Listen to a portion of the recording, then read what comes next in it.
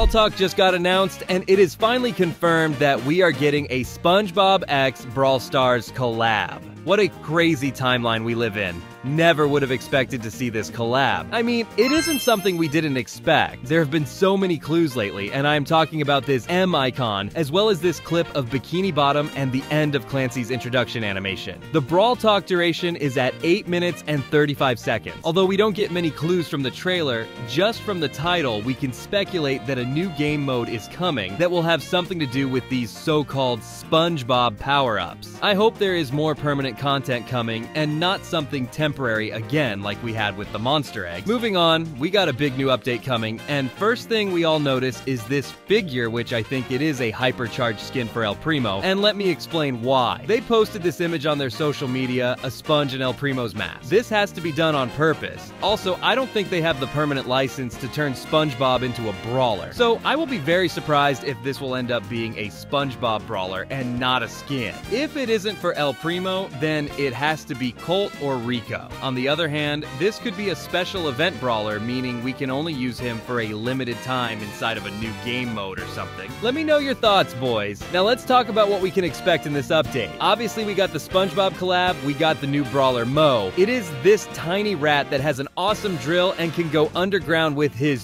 Super. Moe most likely belongs to the Castle Trio or the Trio with Kit. We also know about the Poco and Mortis hypercharges. There is some speculation for Darryl and Tara hypercharges mainly because of their screen time in the box versus drops video. Also, we got that Dragon Bell skin coming, lunar skins, and many balance changes as always. I am very hyped for this Brawl Talk, so my question is Are you ready, kids?